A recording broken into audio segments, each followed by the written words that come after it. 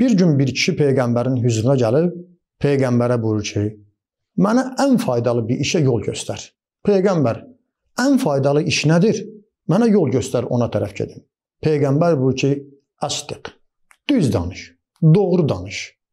Vala təkzib. Yalan demə. Sonra peyğəmbər belə bir on cümlə deyir. Qarşı tərəf təəccüb edir. Peyğəmbər mənə deyir: "Düz danış. Yalan danışma." Sonra buyurur ki: "Və əznib minəl maasi ma şi'tə." Ondan sonra nə qədər istəyirsən get günah elə. Qarşı tərəf təəccüb edir. İmam mənə deyir get günah elə. Üzr istəyirəm. Peyğəmbər deyir get günah elə. Bu adam bu sözdən təəccüb eləsə də bu işi sadə tutur. Deyir, hə, mənim əsas vəzifəm nədir? Əsas odur ki, peyğəmbər deyib yalan danışma. Düz danış. Mən düz danışacağam. Ondan sonra nə günah eləsəm, daha peyğəmbərin boynuna. Peyğəmbərdən ayrılandan sonra adam gedib hansı günahı eləyir və bu zaman görür ki, bu günahı ki eləyir. Axır bir yerdə etdiyi cinayəti, etdiyi günahı bir nəfər görür, xəbər tutur, evində, ailəsində, dostunda, məhəlləsində ondan soruşur. O məcburdur bu günahı örtsün deyə nə cavab verəcək?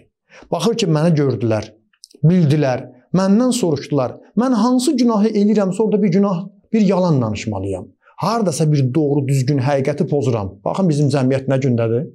Bax bizim cəmiyyətimizdə yalan bütün işlərimizdə, bütün hərəkətlərimizdə, ailədə yalan, işdə yalan, televizorda yalan, dostda yalan, həyat yoldaşına yalan, bazarda yalan, hamısı bir yalan üzərində qurulur. Hamısı öz işin yalanla qabağa verir.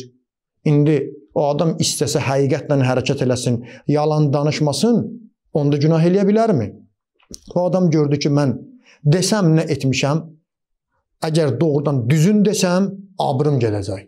Peyğəmbər deyib düzün danış. Yalan desəm, peyğəmbərin sözünün əksinə getmişəm. Bir müddətdən sonra o adamın özü günahlardan çəkindi Bax bu yalanı tərk etməklə günahlardan uzaq oldu.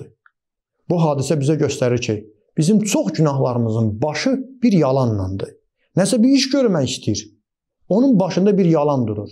O yalan həll olsa, o yalanı götürsə, çox işlər həll olacaq, günahdan çəkinəcək. Bu adam da əvvəldə sadə yanaşdı. Elə bildi bununla onun işi rahatdır. Amma biraz dərinə gedib, dərindən düşünəndə görürsən ki, çox günahlar Çox işlər, cinayətlər başında yalan durur.